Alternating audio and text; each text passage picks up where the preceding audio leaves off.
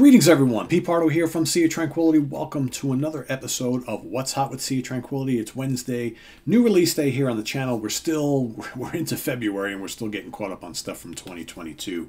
Here is a uh, release from last year from a German band that's been around since the early mid 90s. They've got over a dozen albums to their credit.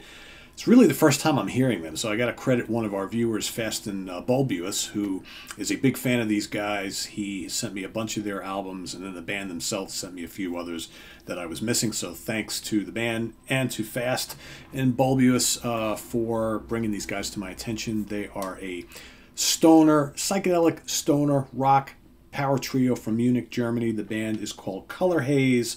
Sacred is the 2022 release. So again, well over a dozen albums going back to 1995. Uh, they have been on for many years through most of the 2000s on Elektrohasch Records. Originally, they were on uh, Monster Zero Records, David Records, Toaster Records. They were on all these really small labels.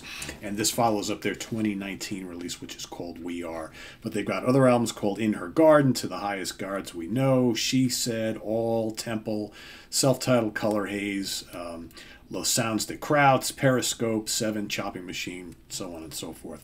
And the band is currently comprised of Stefan Koglek on guitars and vocals, Mario Oberpucher on bass guitar, Manfred Merwald on drums, and Jan Fassbender on keyboards.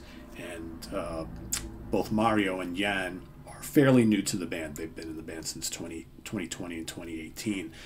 So, uh, but uh, Stefan and Manfred have been around for quite some time. Uh, Stefan, founding member, uh, Manfred since 1998. So let's take a look at this one here. All right, before we talk a little bit about the music, kind of a cool cover there. Here's the back. And one thing on many of their CDs, not a hell of a lot of information, no photographs, no nothing. Very, very brief maybe some lyrics, okay?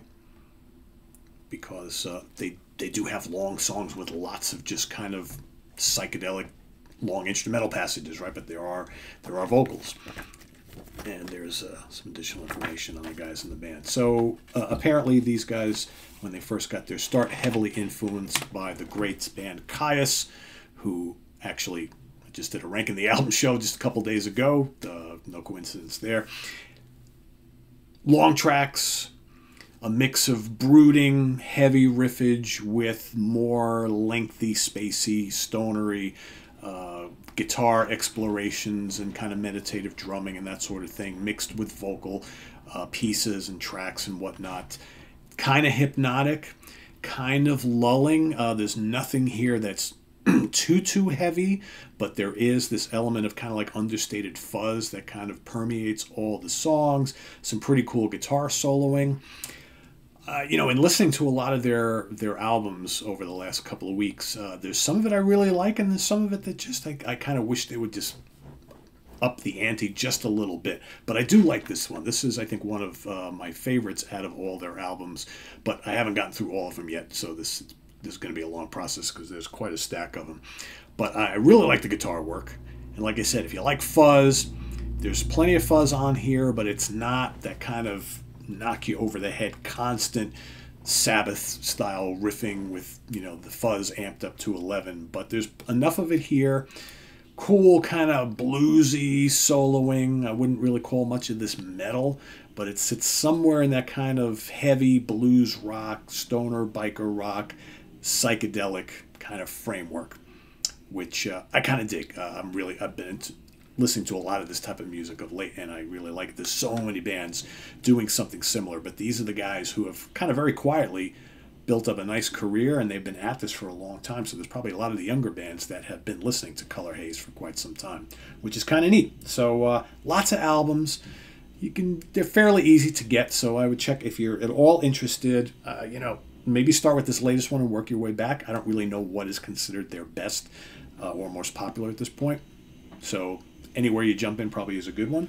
So, uh, but Sacred is the latest from Germany's Colour Haze. So check it out. If you've already heard it, let us know what you think of it in the comments below. If you haven't, go listen, come back, and give us your summary of the of the music and what you think. And uh, we'll see you back here with more stuff. Should have at least one more for you here today.